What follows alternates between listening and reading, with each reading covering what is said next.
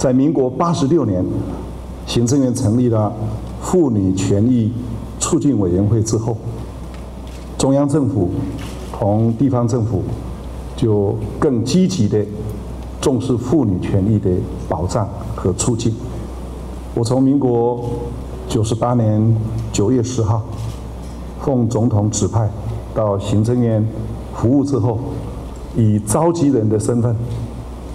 参与我们行政院妇女权益促进委员会的会议，每一次都全程参与。我必须坦白报告，这个会议是我所有参与主持的会议当中发言最没有拘束、最踊跃，而且很多鞭辟入里的意见，都成为行政院和政府推动性别平等的重要的南征。我们国家对于妇女权益的促进。刚才提过，八十六年是一个重要的分水岭，然后这中间每一届的妇权会都是非常积极有作为，也因为长期的努力，所以在联合国开发计划署的这个评比啊，就是对妇女权利不平等的这个歧视啊，在一百三十九个国家当中，我们依照它的计算的方式啊。我们是仅次于荷兰、丹麦同瑞士，在全世界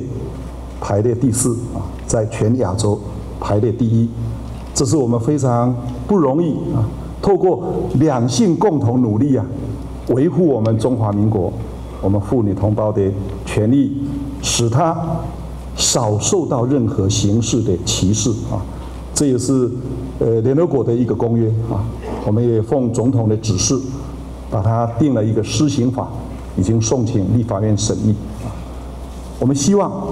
我们对两性平权的努力啊，不是只有在各种全球性的评鉴指标当中，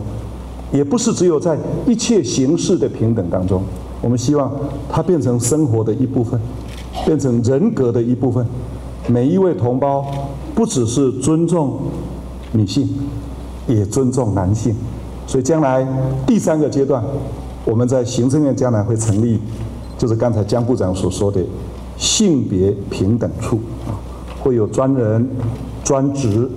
而从保障妇女的权利、促进妇女的权利，推动到第三阶段的，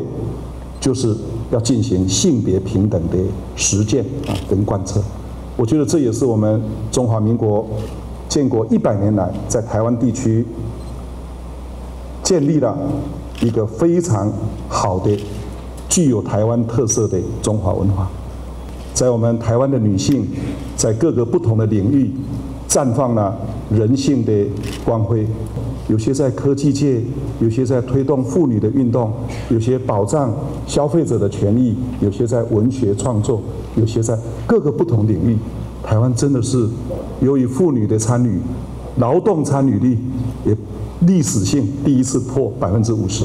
所以台湾的每一项进步都有妇女同胞的心血努力付出在里面。我们希望这样一个向上要升的力量，女性不止缺不能缺席，而且要同男性一样各顶半边天呐，为中华民国创造更好的黄金十年。在这里祝福大家身体健康，万事如意，会议充实而成功。谢谢。